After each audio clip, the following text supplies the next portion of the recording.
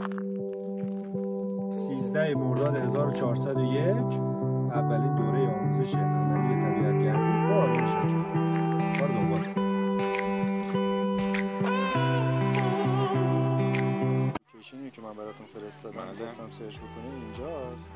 تو این زاویه ما باید برسیم تا برسیم به location ی که ازش داریم که به چه صورت می‌تونن location ی رو که هستن و واسه کسی دیگه بدون اینترنت بفرستن location ها رو چجوری بخونن و واسه دیگران ارسال خیلی متاسفانه میاد زیر درخت میشینه و آتیش روشن می‌کنه این گرما همینجور میره بالا و باعث میشه هم برگا هم محصولشون رو بگیری خراب.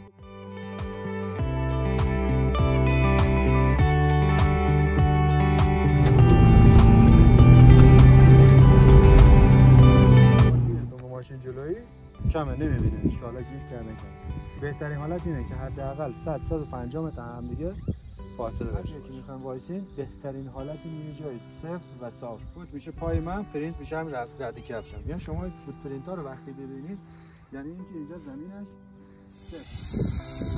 باشه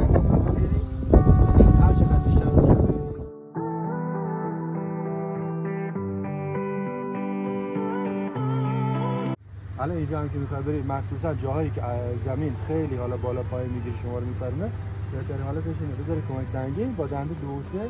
دفعه دیگه بری بالا. به شما شل. و دوباره اینو به همین صورت می‌گیریم. بازش می‌کنیم. می‌ذارین سر باید تنفس داشته باشه. لباس باید نرم باشه. چشم بذار کلا بذاری کنار. چون آدم شوخی نداره.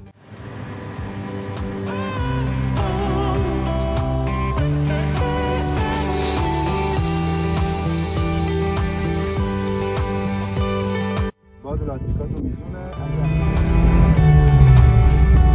ماشینا حتما حتما چهار چرخ سبک کم یادتون نره. هر جایی که شما میری بالا پشتبندش چیه؟ یه پایین اومدم مثلا رد خوردم بالا نباید ولش بکنی. نه خیلی ترمز بگیری. اجازه بدی. همون دنده که آرومی که داری میای پایین بگیر ماشین بگیر چه یواش میاد بغلش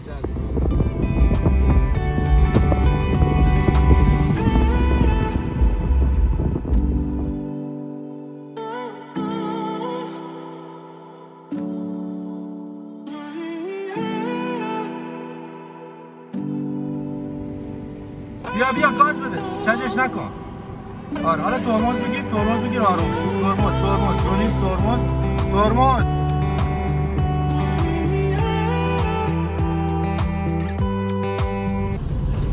بچه از این قسمت که دیگه جلو میدیم تقریبا در حد یه 20 دقیقه این مسیر چالش نداره و صافه ماشین هایی که دوست داشته باشین حالا با هم نزدیکتر باشین اوکی مشکلی نداره.